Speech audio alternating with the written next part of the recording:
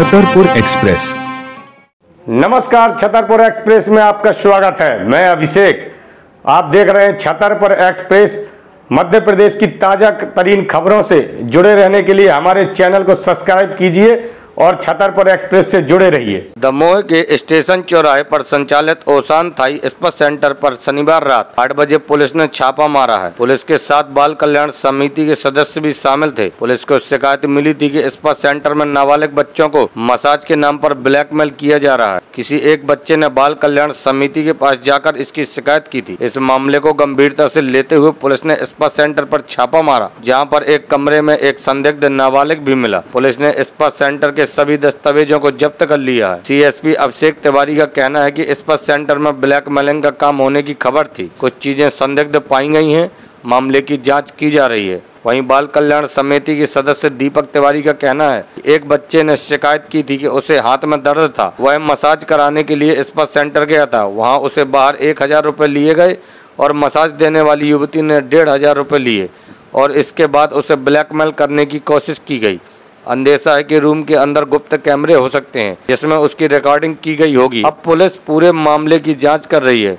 पूछताछ के लिए स्पा सेंटर की एक युवती को पुलिस अपने साथ कोतवाली लेकर भी पहुँची है। सिटी कोतवाली थाना क्षेत्र के स्टेशन पर चौराहे पर संचालित हो रहे स्पा पार्लर पर एक बार फिर पुलिस की छापामार कार्रवाई हुई। पहले भी सीएसपी प्रभारी भावना दांगी के द्वारा भी कार्रवाई की गई थी, जिससे समस्त स्पा पार्लर संचालकों को हिदायत दी गई थी और रिकॉर्ड रखने की बात कही गई थी। के साथ महिला थाना प्रभारी और मैं उस स्पा पर आए हुए थे। तस्दीक की गई इनके रिकॉर्ड में कुछ गड़बड़ियाँ पाई गई हैं और कुछ ऐसे तथ्य हमें मिले हैं जो अवैध वसूली की ओर इंगित करते हैं।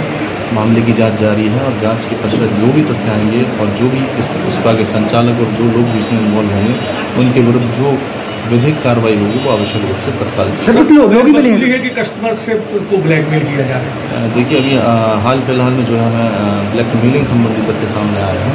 अभी कितना पैसा किस किस से लिया गया उसके रिकॉर्ड में सर कोई लोग भी मिलेगा हमें चेकिंग के दौरान जो तीन व्यक्ति मिले हुए उनके उम्र संबंधी दस्तावेज़ खंगाले जा रहे हैं और उसके बाद जो स्थिति होगी उसके अनुसार जो भी इनके आईपीसी के पीनल सेक्शंस के अगेंस्ट केस रजिस्टर करना हो किए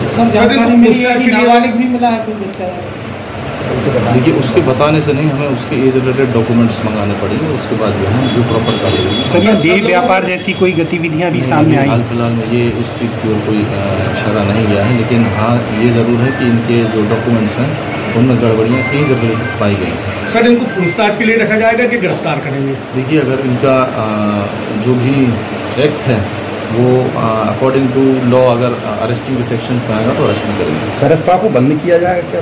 देखिए इसका चूँकि ये एक सर्टिफिकेट बता रहे हैं गवर्नमेंट से इनको अप्रूव किया गया है बट उसमें जो लूप होल्स जो कंडीशंस होती हैं वो ये फॉलो नहीं कर पाएँगे तो इनके रजिस्ट्रेशन कैंसिलेशन और अगर बंद करने का आवश्यकता पड़ेगी तो ज़रूर कराएगा इससे बालक डर कर यहाँ से भागे और मरने की स्थिति पर आने वाले थे तो उन्होंने फिर हिम्मत बांधते हुए इस मामले को खुलासा किया है। सुसाइड ना करके उन्होंने हिम्मत बांधी और मामले को खुलासा किया और यहाँ पे एक नाबालिग बालक मिला भी है। अब उसके दस्तावेजों की जाँच की जाएगी। अगर वो नाबालिग है तो पॉक्सो का मामला भी इन पर इस पर सेंटर वालों पर बनेगा। सर क्या शिकायत बताई थी उसने कि यहाँ पे क्यों आया था फिर क्या हुआ है?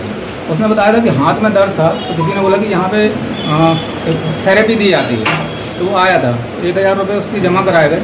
और अंदर जब उसको रूम में ले जाया गया तो उसको ब्लैकमेल करके डरा धमका कर। पंद्रह सौ रुपये उससे वसूल लिए गए। सर वीडियो बनाया उसने हाँ उसका बालक ऐसा अंदेशा है कि हो सकता है कि अंदर सीक्रेट कैमरे लगे हों और जो यहाँ पे मसाज के लिए आते हैं उनके वीडियो बना के ये स्पा सेंटर हो सकता है ब्लैकमेल करता भी हो।